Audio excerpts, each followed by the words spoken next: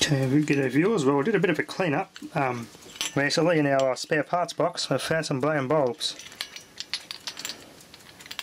Got a good um, Tungsram on there. Hungary. One of the filaments is blown in it. This company used to make uh, radio valves back in the day. I think they were German original, uh, German that company. Quite a good quality bulb there. Here's some of the cheaper ones, which we, uh, I think this might be an Ava, I think. An older model, an older one. I think this one's a more modern one, I think. Yeah, the quality isn't as good. Here's a modern Ava bulb. John, no, no, no, it's not. It's a John brand made in Germany. Filament is still intact, but it's been overvolted. It's black in the glass, but the filament is still okay. It's German quality. I notice a lot of these uh, Chinese made Narva bulbs they're just crap. They just don't last. And the bayonet moulding just snaps off like it's made of paper. And the bulbs fall out. And the soldering's not very good. This Tungsram one's quite a very good, good quality one.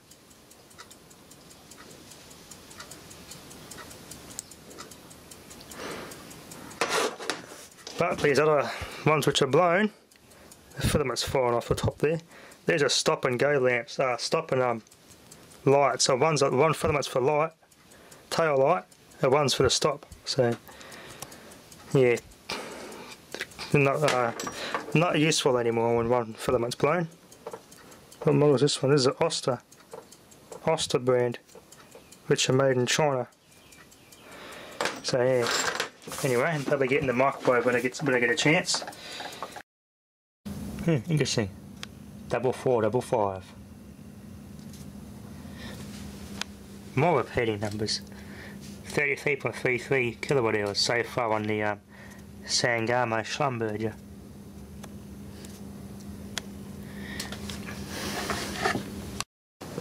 Oh, cute.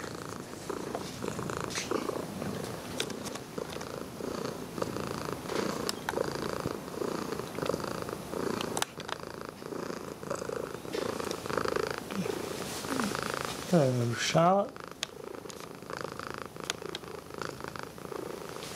Gotta love cats. Okay, to turn into that speaker, I tried to pop it a capacitor bank. As you can see, the voice coil is perfectly intact.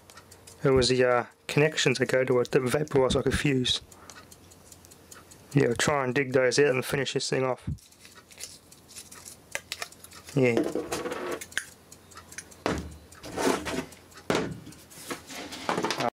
Okay, viewers all, instead of using these piles of junk for TV reception, these don't really do anything anyway. They do a little bit for radio, but um, 99.9% of the time, they barely make a difference. You got your uh, gain control there. Turn the booster on, just amplifies the signal that's incoming. So it boosts a weak signal. I want to see if this works on my TV transmitter see if, how much um, extra extra range to get out of it. I've taken the antennas off this one because I will use to repair another set of Liberties. So I'll do some experiments and see if um, I've already used uh, one similar to this but it doesn't have um, inbuilt amplifier. All that's inside here is a 9 volt transformer, a little circuit board and um, that just boosts the uh, incoming signal. This can also be run off uh, that off 12 volts as well. Switch it to the internal one or external antenna. So instead of using these, you use one that plugs into here. So I can plug the other set of liberties into here and use this to adjust it and boost it again. So instead of using the um, liberties that go on here. So hopefully this should work. Um, this particular uh, booster should work to um, amplify uh, a transmission even more. I haven't tried it with the uh, transmitter yet, with my um, uh, booster. So another experiment, another experiment I yet to try. See if I can get some um, even up this far. I can get one of these TVs to pick up my uh, um, transmitter from, where, uh, from in the house, which is about 30 meters away. Anyway, that'll be enough for now. Thanks for watching.